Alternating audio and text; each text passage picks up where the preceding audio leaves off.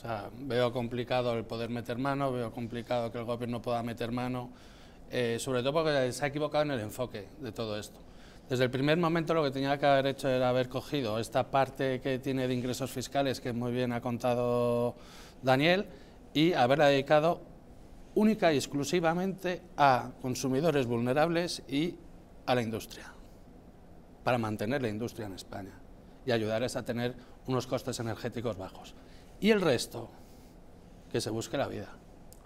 O sea, no puede ser que, por ejemplo, en 2020 tengamos una pandemia y todos, jiji, jaja, qué bien, voy a gastar porque no pago una mierda, con perdón, de luz, porque el precio estaba bajísimo, y ahora que vienen mal dadas porque el mercado se da la vuelta y viene caro, oh Dios, que venga papá Estado a arreglarme las cosas, ¿no? Entonces, bueno, pues aprendamos a jugar, estamos en un mercado, pues juguemos al mercado para todo, cuando baja y cuando sube. Y seamos ya mm, países, pues ciertamente maduros, digamos, ¿no? de, poder eh, hacer cosas. Entonces dices, bueno, vale, yo entiendo que haya consumidores vulnerables a los que haya que ayudar, perfecto.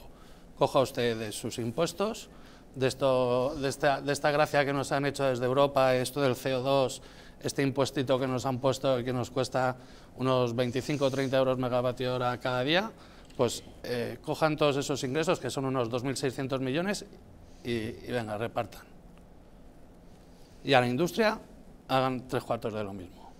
Y entonces tus dos, digamos, sectores claves a los que tienes que atender y a los que les, eh, digamos, son a los que les perjudica esta subida de precios en el mercado mayorista, eh, pues son a los que tienes que ayudar y el resto, bueno, oye, pues que se busca. Sí, pero don Ramón, usted dice jugar según las reglas del mercado, pero claro, si tenemos un gobierno que tiene mal planteado su mix energético, no solo el gobierno actual, históricamente en España se ha hecho un